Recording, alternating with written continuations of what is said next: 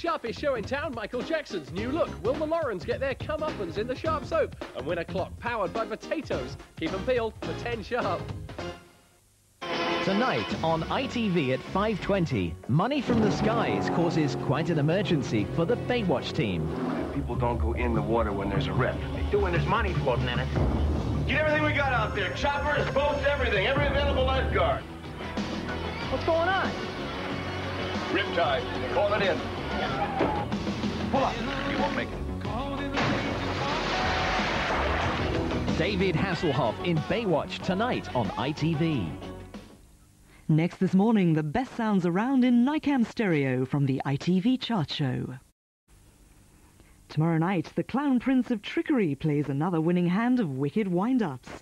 Watch out, Beadle's about, tomorrow night at 7.15.